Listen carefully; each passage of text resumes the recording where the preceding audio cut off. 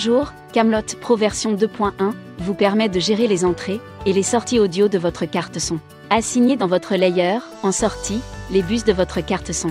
Puis faites de même en entrée en stéréo ou en mono. Profitez pleinement sur scène de VST ou AUV3 FX pour votre guitare ou votre basse, connectée en entrée de votre carte son.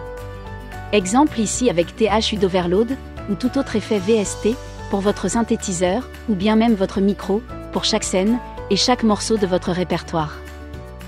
Faites de Camelot Pro votre partenaire incontournable pour la scène.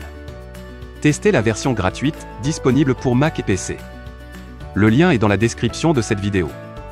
N'hésitez pas si besoin, à me contacter pour une masterclass Camelot Pro. Merci d'avoir regardé cette vidéo, à bientôt.